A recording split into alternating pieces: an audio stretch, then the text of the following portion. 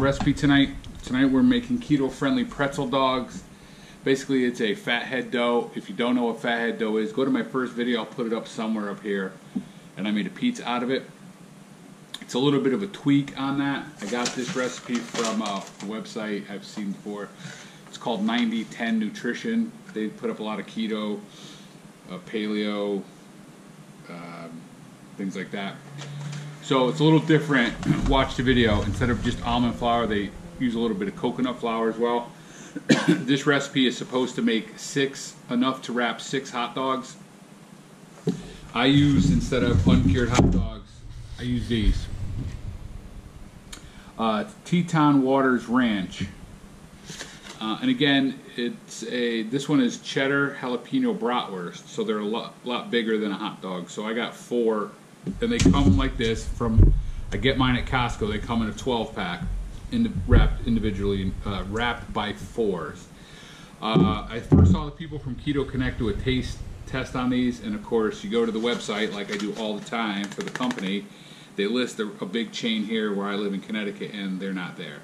Eventually, they found their way into the Costco's. I got the regular bratwurst, and then last time I was there, they had um, they had the jalapeno cheddar. And you know, it's all good ingredients. It's 100% grass-fed beef, uh, no hormones, no antibiotics, uncured, uh, no nitrates. Um, it's one link, and it's a fairly large bratwurst. It's one carb uh, per link. So they make a whole line of this kind of sausage, hot dog kind of thing. That's what I use tonight. And like I said, uh, when we go into the kitchen, you'll see uh, it's a modified dough. I found this fathead dough much easier to work with, meaning it wasn't as sticky. I didn't have to wet my fingers. I did not have to put it, uh, like when I make pizza, I put it between a sheet of parchment paper and my bacon sheet. It does get very firm, so when you're working out, you're going to make these ropes. I made this recipe one time before. It was very good. I've said in a previous video that I can, uh, I have the ability to eat the same thing over and over again, but it is nice to have something different. I made these last week on the fly, uh, and they were really good. Um, the dough does get very stiff at points, but as you're working out the rope to wrap the hot dog in, you know, I would just hit that, put that chunk when I'm ready to work with it in the microwave for like 10 seconds, and it gets very pliable. So um, maybe I'll try to make some pretzels. So let's get up in the kitchen, get her done. Peace. All right, YouTubers, social media, excited tonight to make these pretzel dogs. Basically, we have a we have a cup of shredded mozz here. We're gonna make a modified fathead dough. So it's normally just mozz, cream cheese, almond flour, and egg. So tonight we have, it's a cup of shredded mozz. It's supposed to be a half a cup of Monterey Jack grated. This is like a, a Jack cheddar. Uh, we have one egg. Remember, we're gonna put the egg in last after the flour. So in case the cheese mixture is hot, it's not cooking the flour. Now this is also different. It's got three quarters of a cup almond flour, one quarter cup of coconut flour, and it calls for a half a tablespoon of baking powder. I made these once already and I can't find a half a tablespoon so there's a half a teaspoon in there. Uh, and I have another egg over here that we'll use for an egg wash when we're done. We're gonna get this in the microwave uh, and make this dough. I, I, definitely found this dough easier to work with than the traditional um, fathead dough. It wasn't as sticky. Let's get in the microwave and preheating our oven to 350. All right guys and gals, see, Here's what we're looking for. You see how all this cheese is melted. Again, we're not looking to get it really bubbly. It's warm right now, but there is no evidence of shredded cheese in there. So now we're gonna add our flour.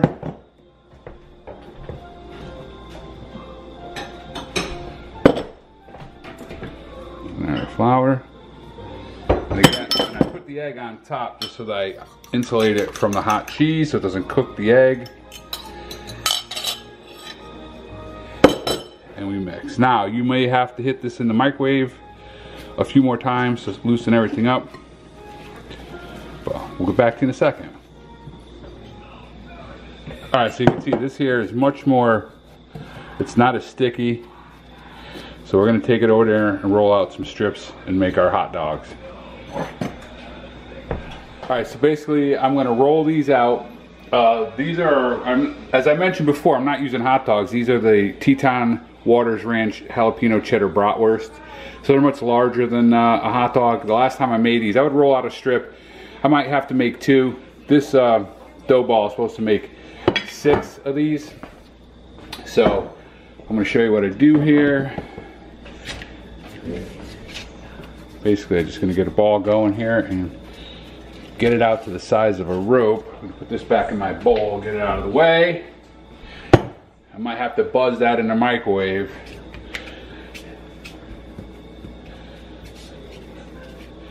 I had some dough left over last time, and I didn't really do anything with it. I might try to make a few pretzels. It's supposed to be like a pretzel dough.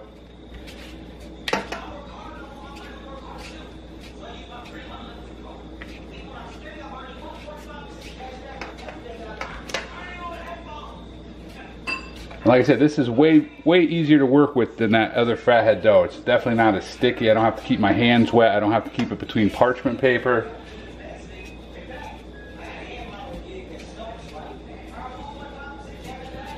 I'm gonna try to get it as long as this cutting board. The rope is still a little thicker than I like. I'm gonna cut the camera and I'll come back. All right, so we're getting there, guys. I'm gonna just kind of try to work it out. This cutting board's kind of tacky on the back, so it helps it stick.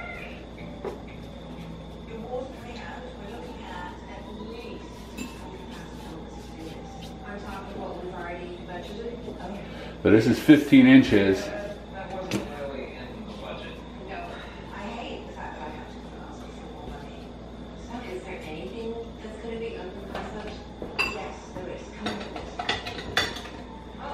So what I'm going to try to do now is cut this in half. I want it a little thinner.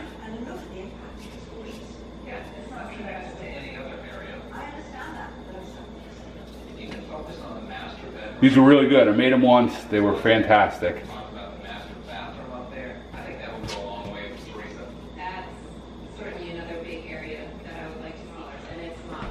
So guys, what I did is I just buzzed this other piece in the microwave. It gets it much more pliable.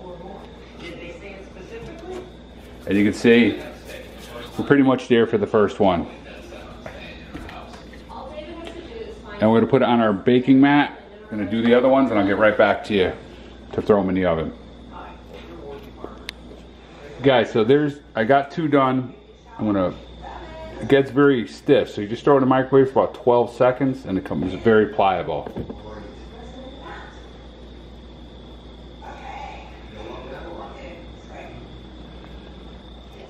All right, guys and gals, here we go. Not too bad. It's my second attempt. They were very good. Uh, the dough was a little more of a struggle tonight. Um, it's late, tired. But there you go. You have your, uh, I made four pretzel dogs. It calls for six hot dogs. These are obviously much thicker.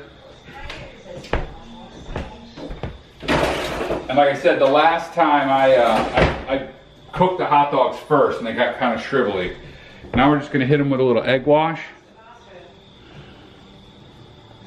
This is one egg beaten with a tablespoon of water.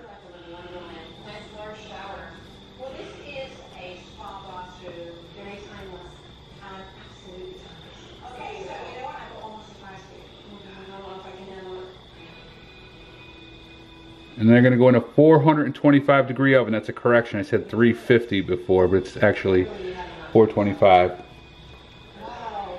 Not the hardest keto recipe I've made. One of my favorites at this point. Whoa, I spilled the egg. Oopsie. I'll get right back to you. Back, we're back. Oh yeah, so 425. And we're going to sprinkle a little Parmesan cheese on these now.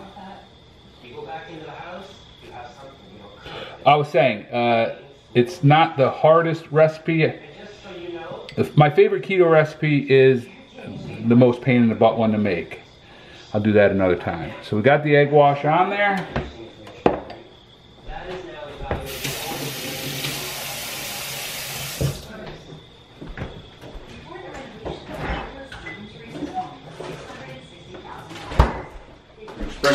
Grated cheese on them. I think they go in for uh,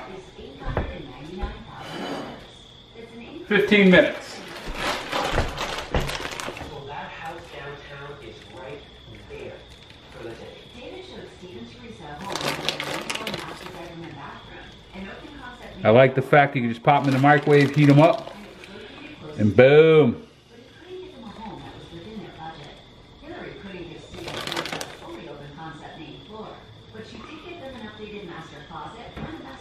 All right, in the oven you go. We'll see you in about 15 minutes.